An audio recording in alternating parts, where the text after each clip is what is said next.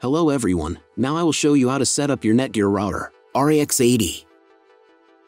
And before I begin, I want to remind you that if you found this video helpful, please buy me a drink.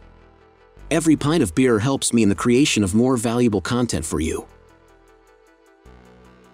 First, turn on the router. Take the power adapter. Plug the power adapter into an outlet. And connect the other end into the router.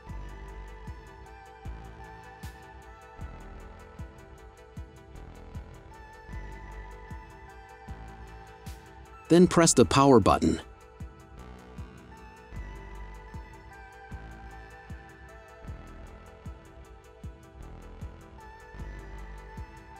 When the router is powered on, the light will turn on. It may take a few minutes for it to completely turn on. Next, connect the cable from your internet provider or from your modem to the internet port. This port is often labeled internet and typically has a unique color.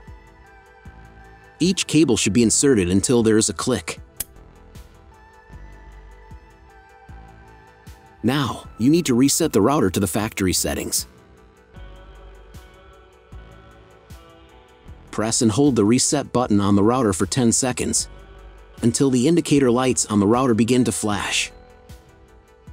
Sometimes, the button is located inside the router casing to avoid accidental pressing.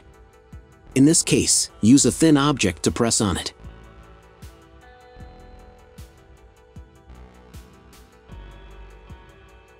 The router will reboot, and the settings will return to the factory defaults.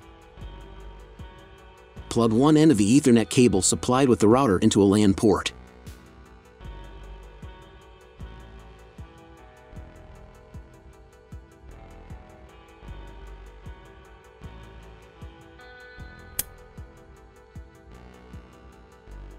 Plug the other end of the cable into your computer's Ethernet port.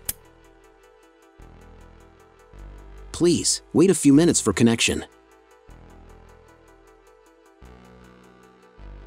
The router is connected to your computer. Now, you will need to set it up. But first, I'll show you another way to connect the router if you don't have an Ethernet cable or your computer doesn't have an Ethernet port.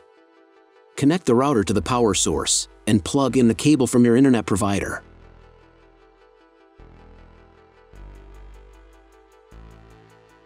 This will enable Wi-Fi.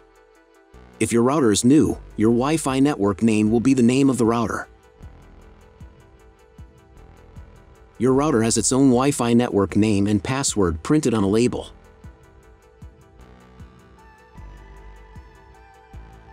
Connect to it.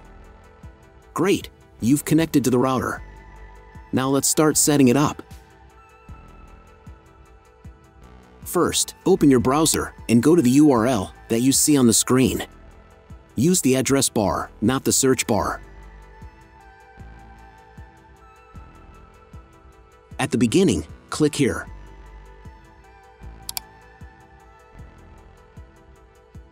Then read Netgear terms and conditions and click I agree button. And click Next. Click Next again.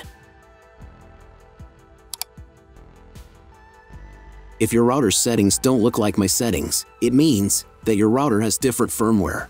I have created a video for every type of firmware. You can find all the links to them in the description down below. First thing you need to do is set up a new password. The admin password is used to log into your router's web interface. Pay attention to the password requirements. Type a new password in the first field and repeat it in the second field.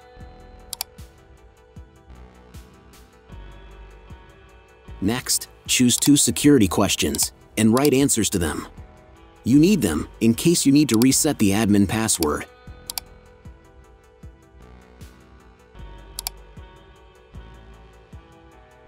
On this page, you can change your network name and password. Click Next. If your browser does not redirect after 2 minutes, reload the page. The next page will contain the data for connecting to a Wi-Fi network. If you are connected using the preset Wi-Fi credentials, it's time to connect using the new Wi-Fi credential. If you want, you can print them out. click Next. If the router hasn't been updated in a while, the next page might initiate the firmware update. If the new firmware is not available, click Next. After updating the firmware, you may be redirected to the Netgear website, where you can register your router. If you want to, you can do it. I won't do that, so I'll just close this window.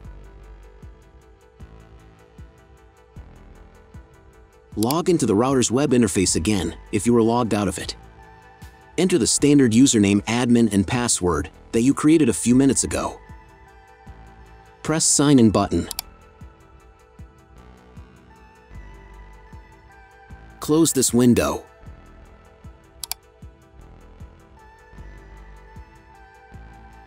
In the upper right corner, you can change the language of the router's web interface.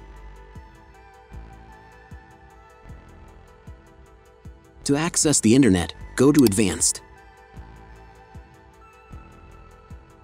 Setup Wizard. Press No. I want to configure the router myself. Then press Next button. Select Internet Settings on the next page.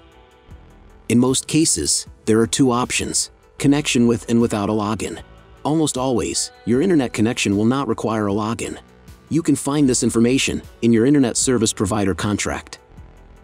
If your internet connection does not require a login, or you do not know whether require a login or not, select No.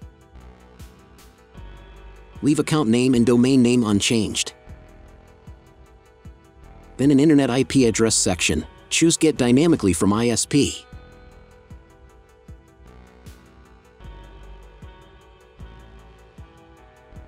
In the DNS section, select Get automatically from ISP as well.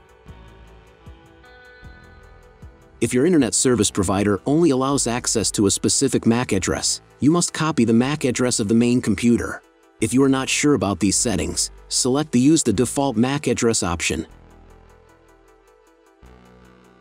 Check again that your settings are the same as mine. And click Apply there is no need to clone the MAC address in most cases. But if you can't get an internet connection after the quick setup, later, in the video I will show you how to clone MAC address. Now you need to reboot the router. To do this, go to the router's web interface if you were logged out of it.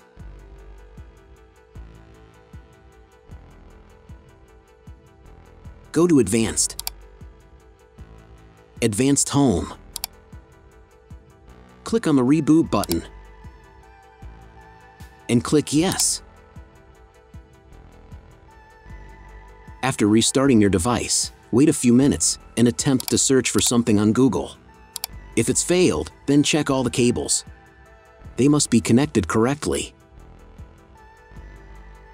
Then log into the router control panel again.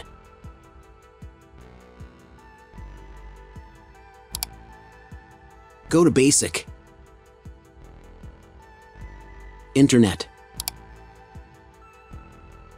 and choose Use Computer MAC address.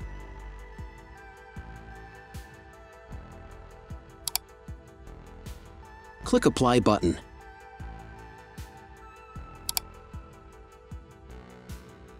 And then, reboot router again. Go to Advanced, Advanced Home. Click on the Reboot button, and click Yes. After restarting your device, wait a few minutes and attempt to search for something on Google. That's all. I want to remind you that if you found this video helpful, please buy me a coffee.